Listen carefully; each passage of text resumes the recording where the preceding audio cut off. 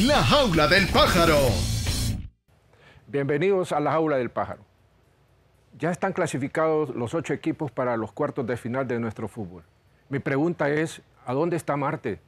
Marte ya habló con el Pájaro Domisi, es un entrenador que para mí vale la pena que se quede.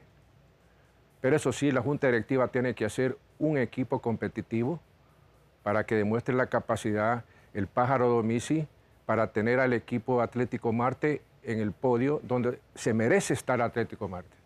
No olvidemos que Marte tiene ocho títulos y merece estar entre los grandes. Pero si no se arma un buen equipo, vamos a estar siempre en el sótano. No se va a clasificar a los, a los cuartos de final porque ya son dos años consecutivos que no se clasifica. Hay que buscar una solución para que Marte esté entre los grandes. Mi pregunta es, ¿el pájaro Domice se quede en Marte? Ojalá que así sea. Porque no olvide la junta directiva que en el próximo torneo va a haber descenso. Y si no arman un buen equipo, Atlético Marte es el candidato número uno para estar en segunda división.